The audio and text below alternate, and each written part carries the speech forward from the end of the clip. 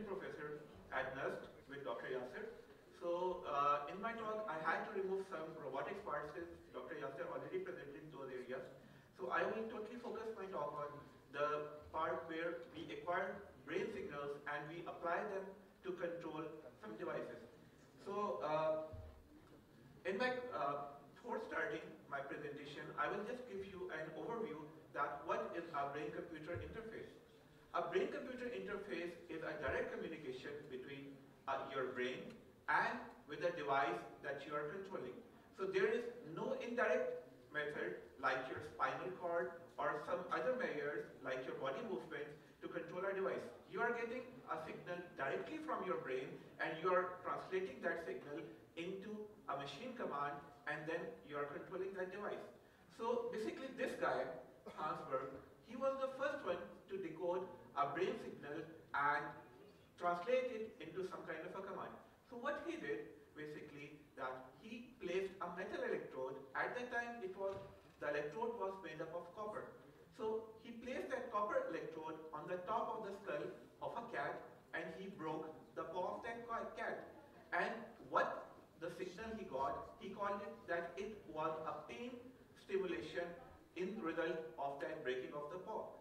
So that was the first ever recorded brain signal uh, from any kind of a living animal. So uh, what a real brain-computer interface looks like. Basically, this is the overall architecture in which we have a hardware in which a device records the brain signal and then there is a software part that translates that signal into a machine command. And then we interpret that signal for the control of a device and we send it back to the user so that he can know that his uh, translation is working properly or not. But sometimes the brain does not give a proper brain signal. So in that case, we have to give some kind of a therapy to the brain so that the brain can stimulate and it can generate the brain signal. So overall, there is a, some kind of a misinterpretation between nerve-machine interface and brain-computer interface. So whenever we are talking about a brain-computer interface, the brain signals are directly decoded from the brain only. But in case of a nerve-machine interface, the brain signals are sent to the nerve part and then the signals are sent to the device for control. Okay, so when there is a brain-computer interface, it is divided into multiple type of categories. So first one is a you are reactive, voluntarily generating some kind of a brain activity, like by moving your hand or moving your legs, or you are thinking of something, then that is a that is an active brain-computer interface. And lastly, just the third one is basically a passive brain-computer interface. What is it? A passive brain-computer interface is when you are listening to something and you are feeling sleepy. So this kind of a response is an involuntary response that is generated, that is not under your control and you cannot do anything about it.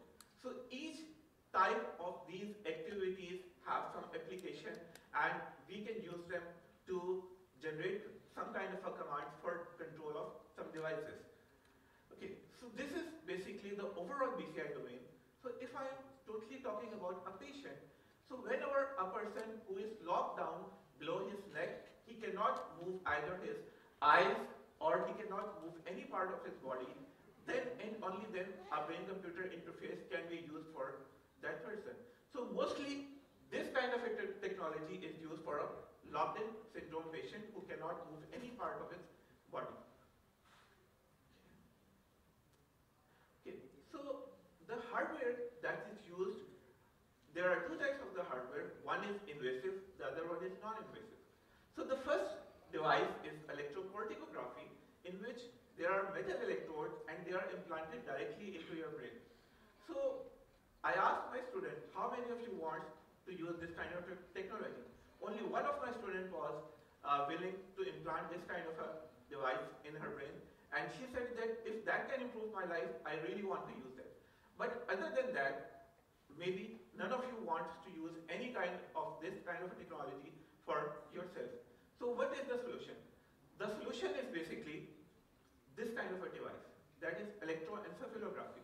So this device records the neuronal signals of the brain directly from the scalp of the head.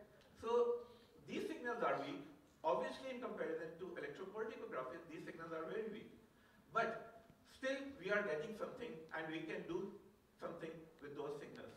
And secondly, just like Dr. Yasser said, there is another device that is functional near infrared spectroscopy. So in that case, we have a source, a near infrared source that shoots light into the brain and there is a detector that detects this kind of a light.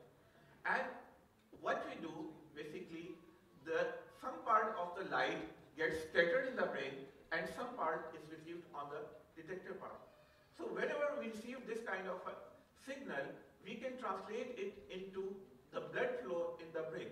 So if we are in the relaxed state, the blood flow will be less.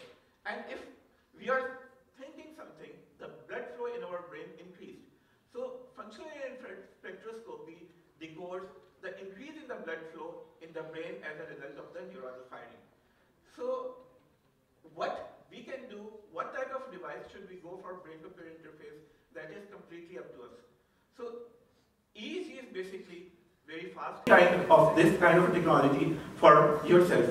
So what is the solution?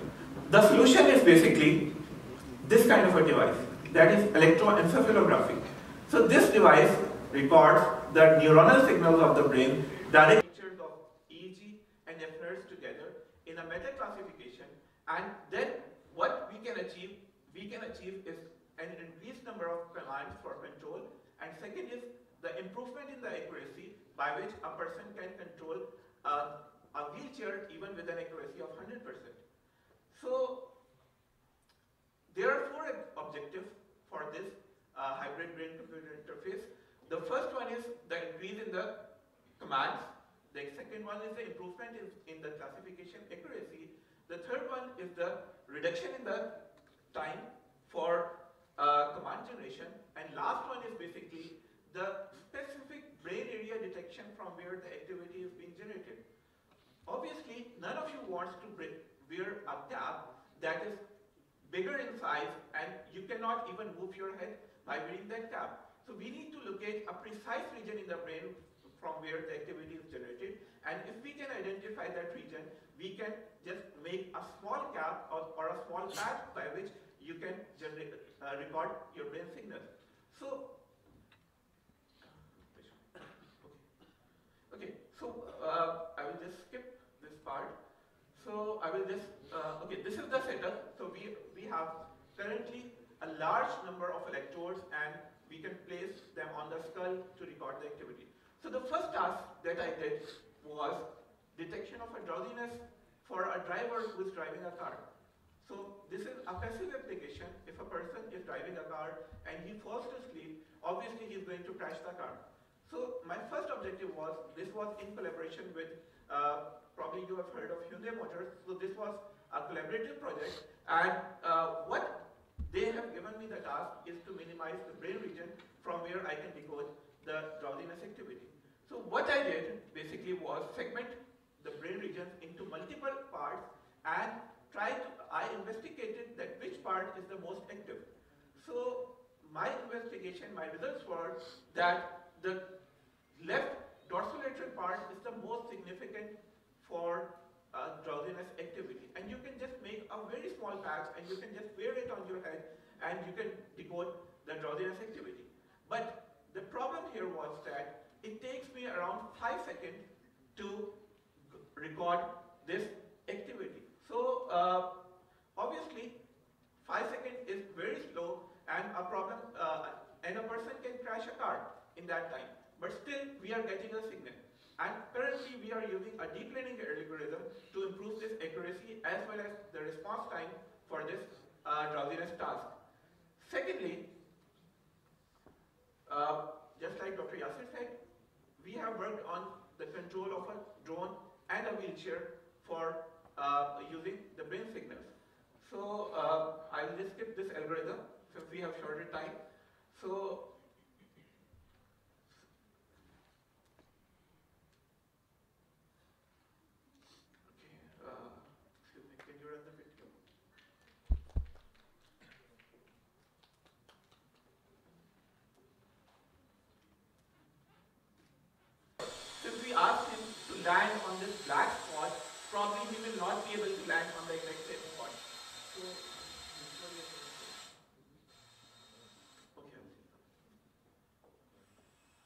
And for the second part, now you can see that the control has been improved by integrating two devices. And this person will land on the exact same spot where he was asked him to do.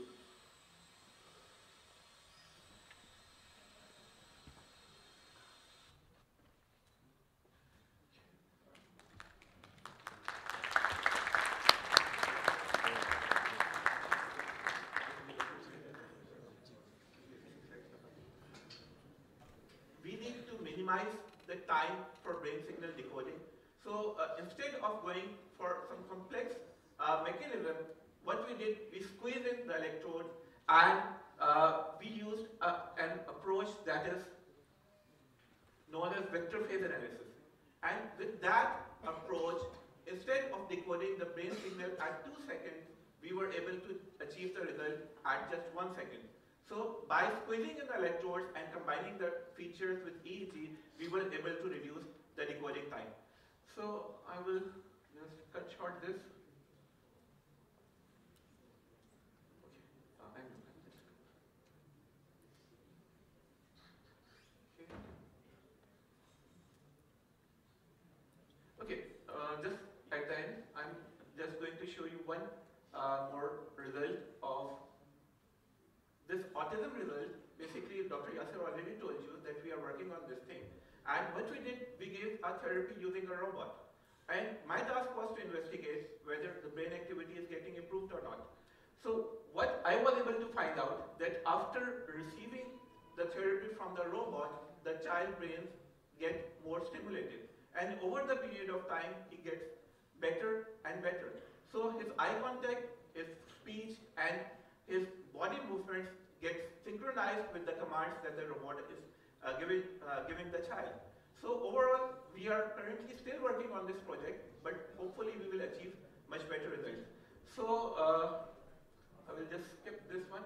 So in conclusion, I will just say that we need a brain-computer interface that is integrated, a hybrid brain-computer interface that can generate a real-time results and it can look up into the brain at the precise level. Only then and only then can we able to commercialize this kind of a technology and we can use it for the therapeutic as well as for the control application. So there are some people I would like to acknowledge. So that is all for the presentation. Thank you.